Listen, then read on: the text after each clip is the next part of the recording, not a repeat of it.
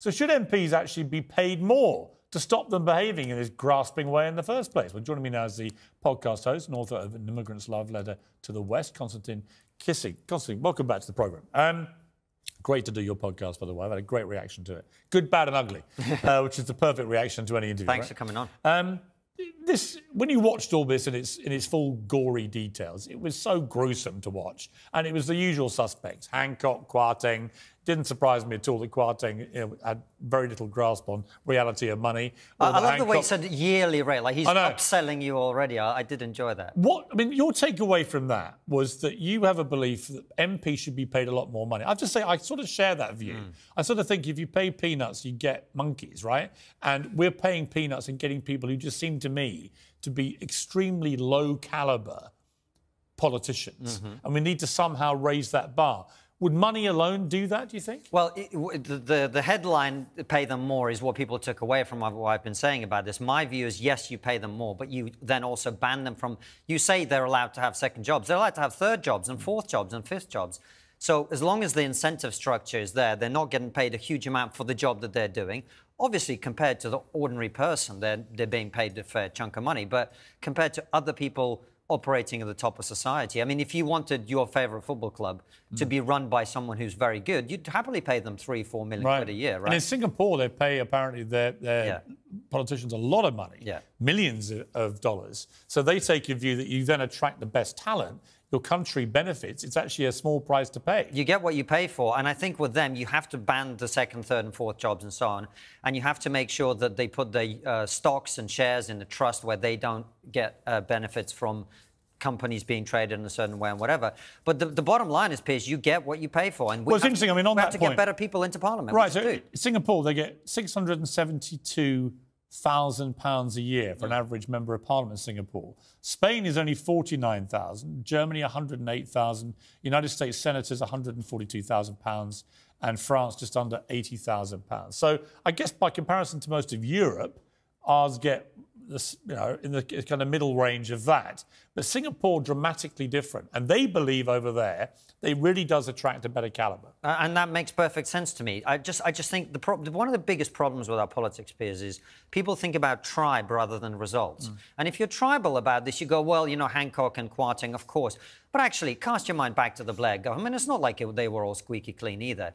We have a system in which the incentive structure encourages politicians not to take money from us and to serve us. We have a political system where they take money from some, in this case, some pretend Korean company, and who are they then serving? Well, exactly. I completely agree. I want to switch to another story which I thought would uh, would probably get your interest.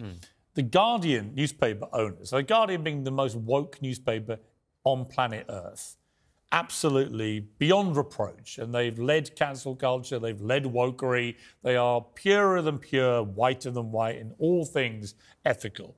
And they've had an unfortunate moment today because the Scott Trust that owns The Guardian has had to issue a public apology because it turns out the origins of the wealth used to establish The Guardian came from slavery. A review found the paper's founder, John Edward Taylor, had links to slavery through partnerships in cotton manufacturing. Obviously, the Guardian reaction is to fall on its knees, beg for mercy, announce all sorts of initiatives to prove they're not a bunch of, of uh, racists and so on. You'd expect that from the Guardian. But a comical irony that the paper that's driven, probably more than any publication in the world, this kind of woke mentality and been hectoring everybody else about their own shortcomings gets caught like this. This is a very good example of this whole thing more generally, where most of these people who claim to be kind and compassionate, they behave in the most awful ways towards the people that they disagree with. And I think this is where, you know, I'm not. Uh, I don't spend a lot of time reading The Guardian. I'm not going to cancel The it's actually bad for my mental health, so I don't.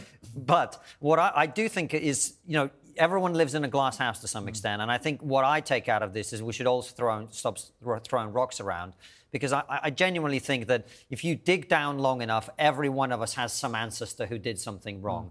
And the less we, we focus on things that happened 300 years ago, and the more we come together and try to solve the problems of today, I think the better off we're I going to just think this self-flagellation mm. over historical stuff, which current people had nothing to do with. Yeah. What's the point?